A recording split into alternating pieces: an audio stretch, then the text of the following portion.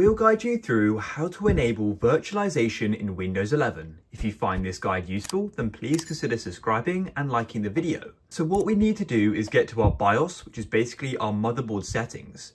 To do that, what we can do is go and click on the Windows Start button in the bottom like so, then go over to the power button and click on it, and now hold the left shift key on your keyboard and go and click on restart. Now your computer is going to go and restart into safe mode. And from safe mode, we can then go and get into our BIOS. So just wait your computer to restart.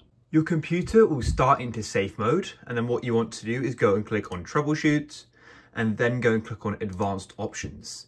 Then click on UEFI firmware settings and click on restart again. And now your computer will restart and the BIOS should automatically open. If that doesn't seem to automatically open the BIOS settings, you can always go and manually do it by following the instructions on the boot page. You should now be in your BIOS and it is important to know that different motherboard models and brands are going to have different BIOSes. But ultimately we are all looking for the same setting and the virtualization setting can have different names. It could be called VT, AMD-V, SVM or Vanderpool. And also it could be called like Intel-VT or Intel VTX, there's a few different variables. So you may want to go and search up specifically for your motherboard, but we'll try and do it generally for you.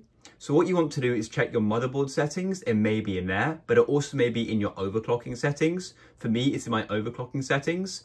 And for some motherboards, you may need to go and use your keyboard. For mine, I can use my mouse though, but I'll just use my keyboard to show you guys how it works. So just use your arrow keys, you know, up and down to go up and down and left and right and then use enter to click. So as I said, I need to go into my overclocking settings. And then what we need to do is go into our advanced settings. So this will probably apply for your motherboard settings as well. Go into your advanced or go into your CPU settings. So I'll go into my advanced CPU settings. And then the setting we need is SVM mode. As you can see here it is. And on the right there, it says enable disable CPU virtualization. So to go and change this setting, all you need to do is hit enter on it and then you can choose between disabled and enabled. So we want enabled, of course, and that's it. So hopefully you've managed to locate it. Another thing to notice as well is that some motherboards have a search function. So you can go to the top right and click on this search button. And then I actually typed it before.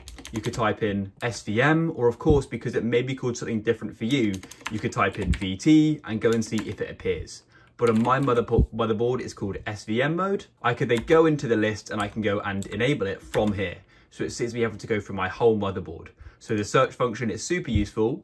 Once you've enabled it, you can then close off your settings. Click on the cross in the top right, or there may be a different exit button for you. And for me, I haven't made any changes, but you've probably gone and enabled virtualization or whatever it's called, whether it be SVM or VT. So make sure you click on yes to any changes you've made and your computer will then go and restart back into Windows. And you can sign back into Windows and go and use your computer with virtualization enabled. If you found this guide useful, then please leave a like.